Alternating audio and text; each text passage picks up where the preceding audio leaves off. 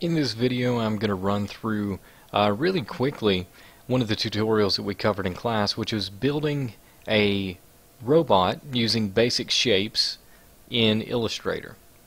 So I'm going to start with some really basic elements here just using the shape tool. I'm going to begin just with a rectangle. I went ahead and opened a new, a new document. If you'd like to see how to do that, just look at the first of the Illustrator tutorials in this playlist. I'm going to go ahead and drag this one out. Uh, right now it's white. It has a black stroke around the edge. I'm going to use the parameters up at the top uh, to alter that. I'm going to remove the stroke using the none option, which is white with the red line through it. So now I have just this basic shape and uh, no stroke around the edge. Now I'm going to go over back to the shape tool, click and hold down and get the ellipse tool from it and I'm going to hold shift while I drag this out to make sure that my I don't actually get an oval. I want a perfect circle. So if I want an oval I can just drag it out any way I want. If I want a perfect circle I hold shift. So I'm going to drag that out. And then going back to my arrow tool which is always my default position I am going to resize this circle to make it fit flush with both edges. Almost there now I have to zoom in because it seems to be misbehaving. There we go. Move it down just a bit. It's not perfect, but it's going to get me by. pull this up just a little bit. Alright, here is my basic setup and you can see right now it's all on layer 1 if I look at my layers palette over here on the side I'm going to go ahead and add a new layer and double clicking on the name I'm going to rename it to eyes just to make sure it's always above. I'm going to go back to the shape tool grab the ellipse uh, click and drag out an eye again holding shift to make sure it stays in proportion. And I'm going to give it a nice color then move it over here onto the actual robot.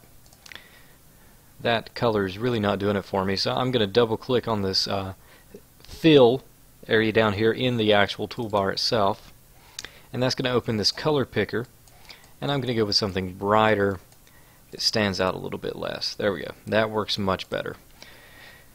Now rather than create another one and try to get it to the exact size all I'm going to do I'll push in a little bit so you can see is just copy this one. I can do this on the keyboard doing uh, Command C and Command V, or I can go up here into the menu and do Edit Copy, and then Edit Paste. And then I just move that up to match. I can click one, hold Shift and select the other to select them both at the same time, and that way I can move them to kind of line them up.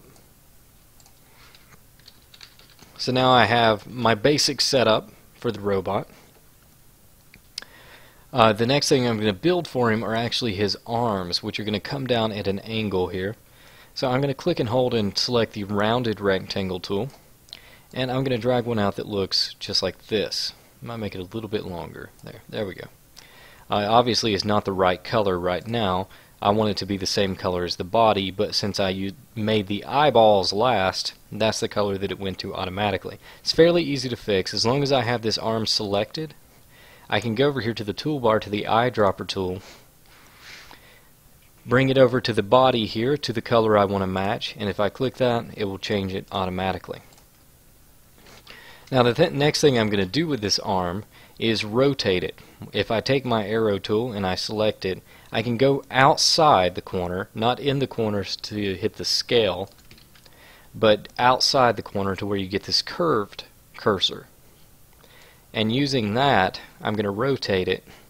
And I can rotate to any degree I want or I can hold shift while I'm doing that and just rotate to 90 degree 45 degree so on and so forth. I'm actually going to do 45 degree and I'm going to put it over here like this now this is where it gets a little bit challenging and we have to walk through the most complex portion of this. There is an additional tutorial video on using the Pathfinder, so I'm not going to spend a whole lot of time on it.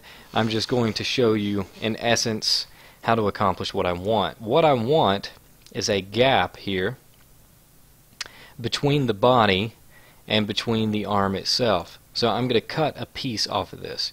In fact, for the time being, just to make this simpler, I'm going to change the color of it so we can really see what's happening. What I need to do in order to make this happen is to create another shape and then use that shape to cut through it. Let me demonstrate. I'm going to go back up here and select the rectangle tool. I'm going to draw out a rectangle and I'll make it a bright color so we can really see what I'm doing. Once I have it, I'll take my arrow and move it and I'm going to cover up everything that I want to cut off of this arm I've created. I'll zoom in so you can really see if I hover over the arm you can see where the outline comes in and exactly how much I'm going to remove. So if I select this green one and I hold shift and select the arm as well, my Pathfinder tool, which I already have out here in expectation of using it, I go down to the minus front option. If I hover over it, it gives me the name. And when I select that, it cuts through the arm, leaving only the part that was still exposed. Now I can do what I did earlier with the eyedropper to change the color, and I have the arm itself. Next thing I'll do is the same as I did with the eye really is copy and paste. I did it on the keyboard that time. Command C, Command V.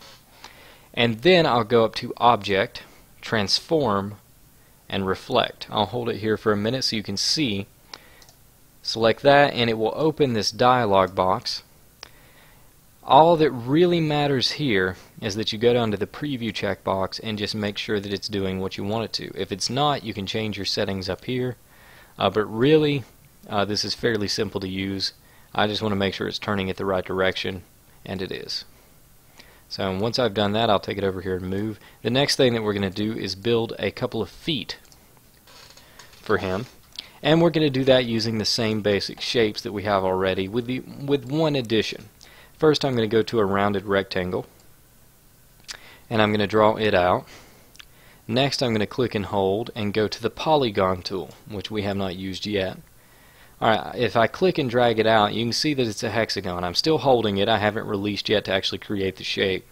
Uh, what's interesting about this tool is I can actually increase or decrease the number of sides just by using the arrow keys on the keyboard. I'm hitting up and down on the arrow keys. If I bring it all the way down, I can get a triangle, and that's what I want. If I hold shift, in fact, it will keep that triangle straight across the bottom, which is also what I want. See that perfectly clean horizontal line? I don't want it at an angle like this. I want it completely straight. So I hold shift, and Illustrator does that for me. I'll just go ahead and release it here, and then move it down. Now what I'm going to do is resize it to get it to fit the purpose that I want. Something like that. I'll click and move it over. Make sure it's nice and flush with the bottom. And now I have a robot foot. Same thing here. You notice I can click and drag over these two elements. Copy and paste. And then object, transform, reflect. Move it into position.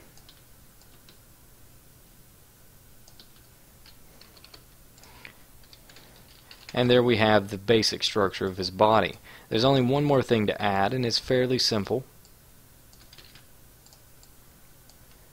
I'm trying to move these up, and they're being a little argumentative. All that's left to add are the antennae on the top of his head, and we're going to do that using the rounded rectangle tool.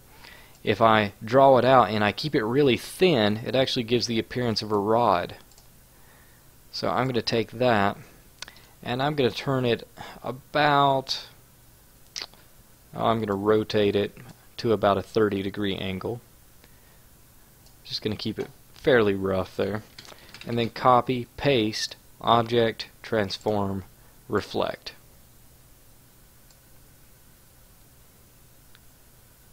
Photoshop will actually help me kind of line these up Again, not going to be perfect, but just in the ballpark area. And there you have it. There's the basic figure, the little robot figure that you can make using just basic shapes and the Pathfinder tool. So altogether, uh, honestly I do this in both Illustrator and Photoshop as a tutorial, build the same figure. And it is much easier to do in Illustrator because Illustrator is really, really handy with basic shapes.